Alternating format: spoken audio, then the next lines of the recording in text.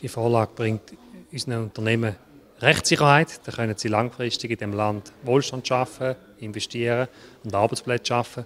Ohne die Vorlage da wäre große Rechtsunsicherheit. Der Druck aus dem Ausland würde so zunehmen, dass sich für viele Firmen nicht lohnen würde, um da zu bleiben. Und äh, was dann passiert, möchte ich mir gar nicht ausmalen.